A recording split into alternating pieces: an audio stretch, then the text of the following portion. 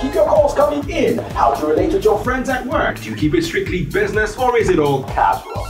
Hi there, what's your name and where are you calling us from? Jennifer, calling from Lekki. What's that magic chemistry that makes the two of you so perfect as colleagues? Now that the table's been turned. Hello? You there?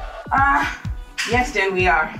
Working with Kaylah is cool, even though she is too, Two what? too loud when she's hanging out with her friends. No, I'm not. Yes, you are. No, that's just me being happy. I'm not saying it's bad, but it's too much. But it's what makes you my perfect co-host. But I think you're just too emotional.